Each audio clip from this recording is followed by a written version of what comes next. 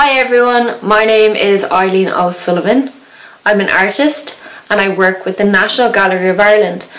I look forward to welcoming you to the sensory drawing class for adults as part of the National Gallery of Ireland's Drawing Day programme. This video is a little information video to tell you what you'll need on the day and a little um, brief overview of what will happen during the hour, what we'll be working on so that you can be prepared and gather the materials that you'd like to have on the day. For the workshop you will need some art materials and you'll need to select some objects. Here are some examples of what you might like to collect you'll need one sheet of paper to draw on. Uh, you could use white paper, coloured paper, maybe something from the recycling bin, like an old envelope or some cardboard.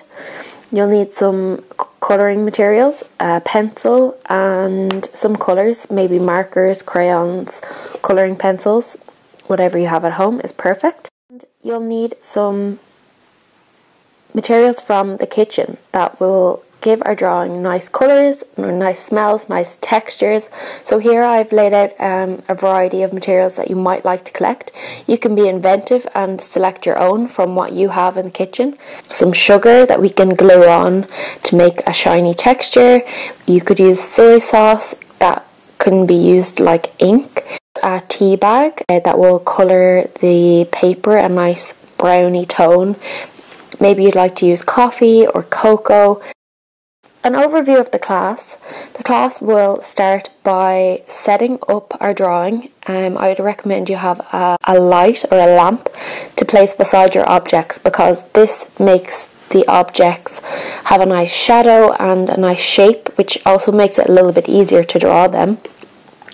We'll spend some time uh, setting up the objects and then we will go through the steps of drawing the outline of the objects, filling in some more detail, starting on the colour, looking at what colours are in the objects.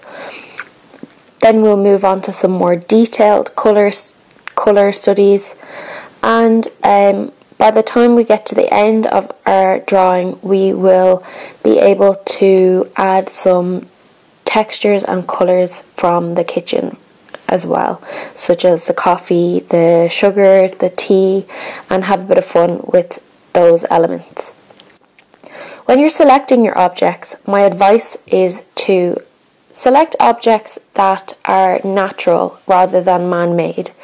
Vegetables, fruit, things that are made from paper, like the bag of flour, things that have a shape that changes, rather than objects that are glass or metal or ceramic, as objects that are more natural are easier to draw because they are more forgiving to mistakes. Objects that are man made are, are very harsh and harder to draw. So you can select whatever objects you like. Three is more than enough.